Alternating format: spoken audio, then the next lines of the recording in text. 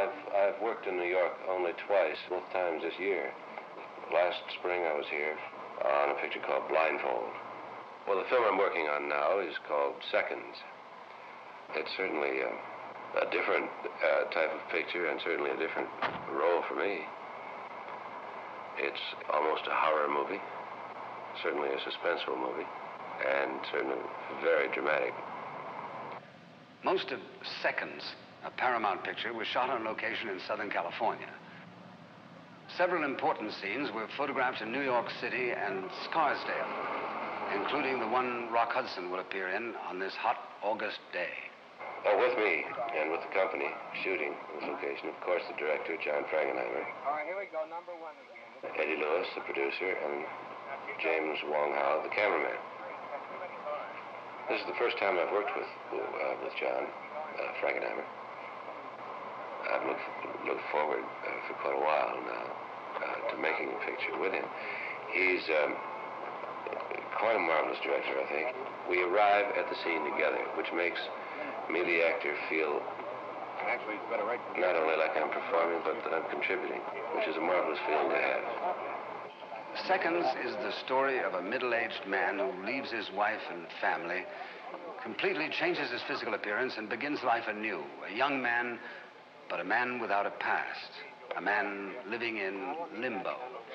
The man that I'm playing cannot adjust to his new surroundings, so he, he has to.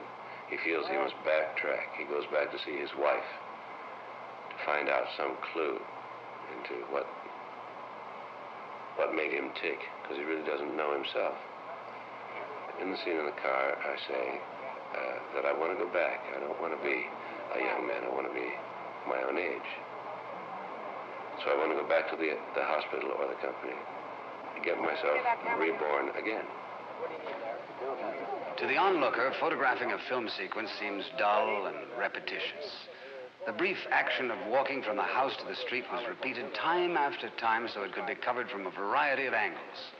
For the short scene inside the car, the automobile had to be rigged with camera mounts, first in front and then on each side, and the film action repeated for each camera setup. A single day's work, which resulted in a few brief moments in the completed picture, was all that was required of Rock Hudson in the New York locations. Was it worth bringing the high-priced star 3,000 miles for this short sequence? The company has been here shooting for a week.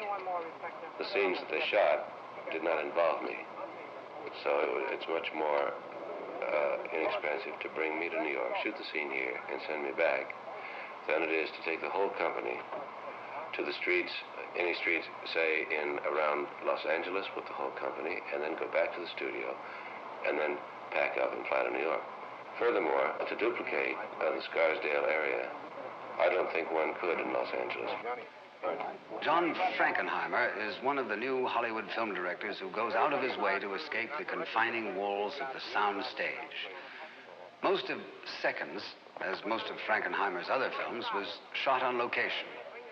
What's all this traveling like for the star, raised in the relative comfort of the studio? Well, of course, uh, the disadvantage of going on a location, especially uh, here in a big city in New York, is that first of all you're not home. Uh, you live in a hotel. You're in a big city. There's a bustling, great big city, which is certainly different than Los Angeles. And from the hotel, one goes to various locations in and around the city of New York.